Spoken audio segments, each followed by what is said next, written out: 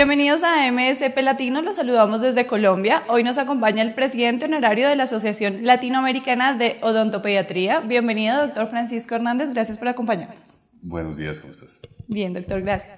Doctor, normalmente hablamos de complicaciones odontológicas en los adultos, pero ¿qué tan frecuentes son esas complicaciones en bebés y en niños? Generalmente complicaciones inicialmente no hay porque los niños nacen sanos. El problema es lo que hacemos después los papás por hábitos de nosotros, que no generalmente no tengamos una buena higiene bucal con nuestros hijos y ahí comienzan a darse los problemas. Las otras cosas, como por ejemplo un niño que nace con un diente, no es una complicación, sino es un manejo diferente de la naturaleza que cuando ustedes consulten a su odontólogo pediatra, fácilmente van a poder orientarlos. Y la otra complicación pueden ser maloclusiones o diferentes problemas de mordidas, que se van viendo de acuerdo a cómo va creciendo el niño y un odontólogo pediatra los puede asesorar perfectamente. La gran ventaja es que ahora todas estas cosas se pueden solucionar fácilmente con una atención adecuada por un profesional capacitado y adecuado como es el odontólogo pediatra. Estas maloclusiones, doctor, eh, se pueden presentar por qué malos hábitos en los niños, por el chupo, por el dedo pulgar, ¿qué otras Las maloclusiones se pueden presentar por varias causas. Una de las causas pueden ser hábitos, Sí. Puede ser succión digital, no solo el dedo pulgar, de cualquier dedo. Puede ser hábitos de succión de miles de cosas, de juguetes, de trapitos. Puede ser eso. Puede ser también por un error en la salida de un diente y que haya una mordida cruzada que se acomode un poco diferente. O pueden ser cosas esqueléticas también de base hereditarias. Por ejemplo, si tu familia todos han tenido, por ejemplo, la quijada avanzada, que hablamos de una clase 3 o un prognatismo mandibular, como así, pues generalmente existen posibilidades de eso y se puede descubrir. Y se pueden descubrir a tiempo, o mordidas cruzadas de un lado o del otro. Una mordida cruzada es generalmente mordemos con los dientes de arriba hacia afuera y los dientes de abajo un poco adentro.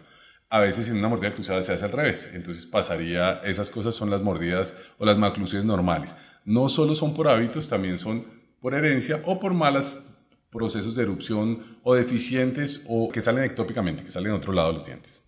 En Colombia y en Latinoamérica se presentan muchos casos por herencia de esas complicaciones. Sí, generalmente sí, muchos casos no. Lastimosamente no tenemos una epidemiología real y medida porque ni siquiera hay algo que nos junte todos los, todas las mediciones de todos los países, ni siquiera en los países lo hacemos. En la Asociación Latinoamericana de Odontopediatría tenemos unos manuales que los pueden descargar cualquier persona. Se llama www.revistaodontopediatría.org otras publicaciones y ahí pueden descargar todos los manuales para educación de la comunidad. Y ahí pueden saber exactamente cómo hacer eso. Volviendo al tema en la revista también, que es gratuita también para profesionales de la salud, tenemos la forma de comenzar a integrar todos los conocimientos de Latinoamérica, pero no hemos podido encontrar que los países nos hagan sus estudios o nos pasen sus estudios de epidemiología de todas estas mordidas. Entonces, hablar de cuál es la frecuencia y la prevalencia de estas cosas es imposible. No está tan claro. Doctor, y desde la parte profesional, ¿cree usted que Latinoamérica está preparada en sus médicos para tratar estas condiciones de los niños y los padres acuden a tiempo a que se les haga un control a los niños para detectar problemas dentales? Generalmente estamos creciendo y desde la Asociación Latinoamericana de Odontopediatría, que somos más de 3.000 personas, todas las sociedades desde México hasta Argentina, todos los países con sus sociedades, tenemos profesionales totalmente capacitados lo que necesitamos es que el Estado y las personas entiendan que así como para llevar al médico, la persona indicada es el médico pediatra, para ir al odontólogo, la persona indicada, capacitada, que ha hecho más de dos años de especialización, es el odontólogo pediatra. Entonces tenemos en Latinoamérica más de 3.000 profesionales capacitados en todos los países, porque te puedo decir que tenemos más de los 3.000 personas en la sociedad, de todos los países capacitadas, y con capacidad de hacer esto. Ahora necesitamos que los médicos pediatras remitan al niño al odontólogo pediatra o que las mamás hagan una cita con el odontólogo pediatra. No es nada contra los odontólogos generales, pero es una persona que está capacitada, el odontólogo pediatra, para atender al niño de una manera completamente correcta y eficiente para esto. Entonces el primer paso es este, y es que todos como comunidad empezamos a atender y a trabajar este caso. Ok, doctor. Hablando de las mamás, de las citas médicas y también pues en alianza con nuestra revista de Pediatría y Familia, se presentan muchas fobias a temprana edad. para que los niños asistan al odontólogo? ¿Qué recomendaciones les podemos hacer? ¿Cómo deben hablar en casa para que los niños no teman y para que puedan hacerse controles a tiempo? La primera recomendación es que ojalá la mamá en el momento del embarazo, que es cuando está más preparada y más predispuesta a recibir información, asista a una consulta con el odontólogo pediatra. O si no, lleve al niño antes del año, entre los seis meses y el año, a la primera consulta con el odontólogo pediatra. Ahí el odontólogo pediatra la va a estar completamente educando, preparando y dándole todos los hábitos para que su niño nunca se vaya a enfermar. Y comenzar a hacer un proceso de adaptación para que no pase nada. Y el niño no le tenga miedo ni nada. Generalmente los que le pegamos el miedo somos los papás. Los padres. Además, doctor, importante resaltar que los cuidados deben hacerse incluso desde bebés, ¿no? Se debe limpiar, así no tengan dientes. Se debe hacer una limpieza en las encías para prevenir complicaciones. El primer cuidado que hay que hacer es el de los padres.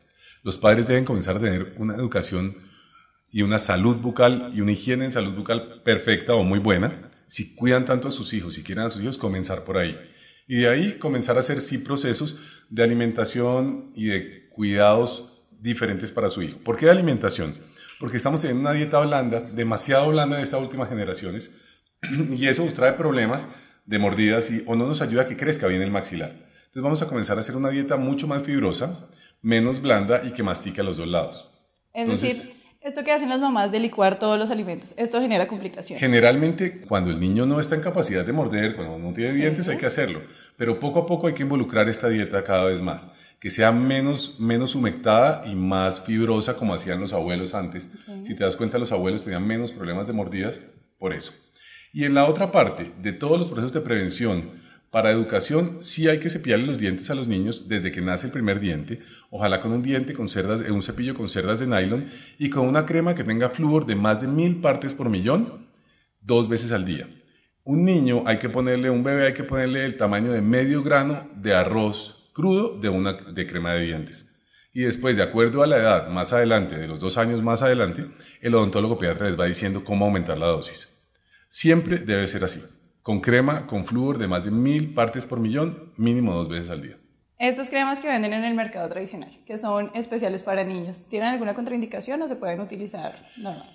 Lo ideal es que hay que aprovechar el, el factor o los beneficios que nos trae el flúor tópico.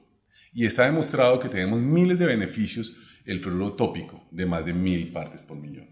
Ha habido unas tendencias a usar cremas sin flúor y otras cantidades de cosas o con menores de mil partes por millón. La idea es que lo que nos muestra la evidencia científica es con más de mil partes por millón de flúor dos veces al día nos da todos los beneficios.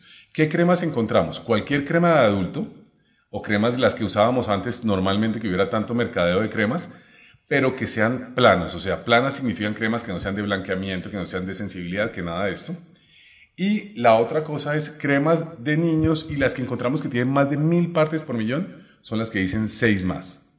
Lo importante es usar la dosis adecuada. La crema de dientes es un medicamento y no un dulce como lo están usando en muchos casos.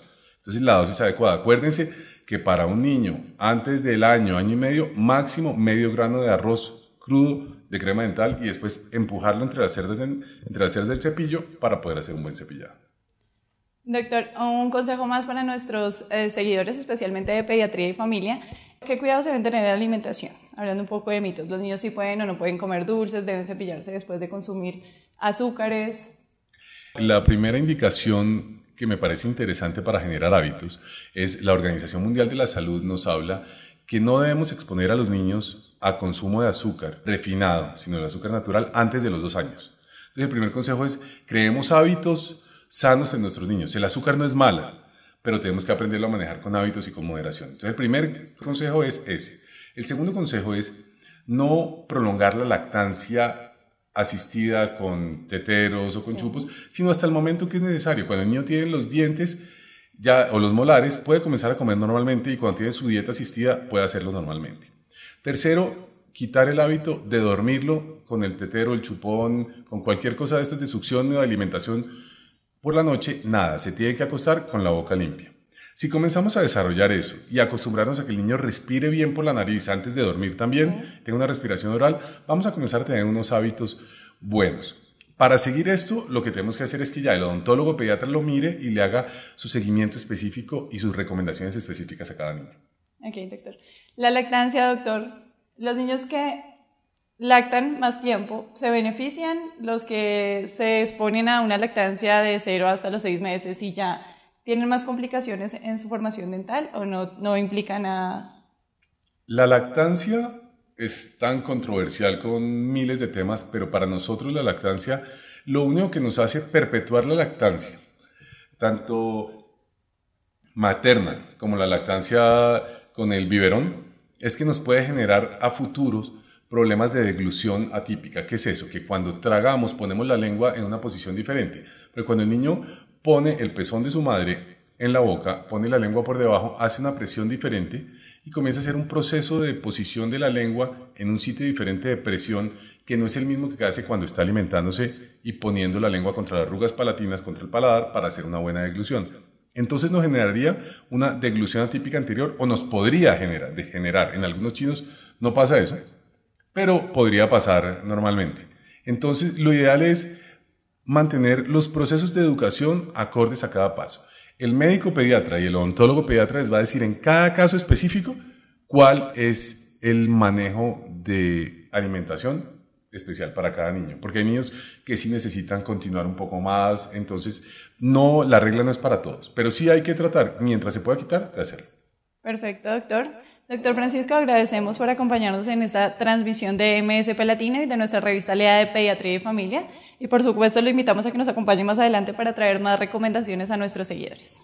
Marcela, muchas gracias y esperamos que la Asociación Latinoamericana de Odontología Pediátrica siga apoyándolos en todos sus eventos y en todos sus proyectos. Muchas gracias.